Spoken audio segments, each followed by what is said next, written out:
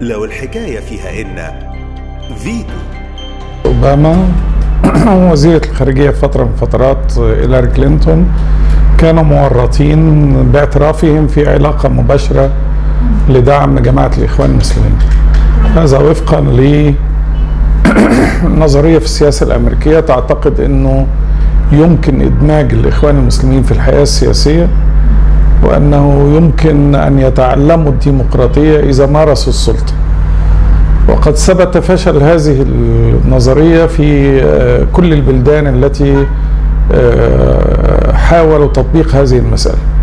أذكر هنا فقط بأن التجربة الأولى كانت في قطاع غزة في انتخابات 2006 وحذرنا في ذلك الوقت من أن الإخوان المسلمين إذا صعدوا إلى السلطة وفقا للانتخابات فإنه لن يتركوها. لسببين. الأول أنه هم لا يؤمنون بالديمقراطية.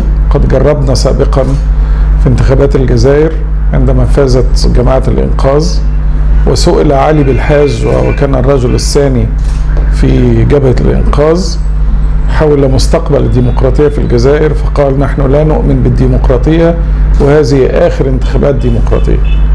المرشد العام في مصر العاكف قبل المرشد الحالي سئل أيضا حول مستقبل الديمقراطية والمعارضة فاستخدم ألفاظ بذيئة سنضربهم بالحذاء ولا توجد ديمقراطية إلى آخره. هم من الناحية العقيدية لا يؤمنون بالديمقراطية ويعتبرونها نظرية غربية وبعضهم يقول أنها نظرية غربية صليبية إلى آخره.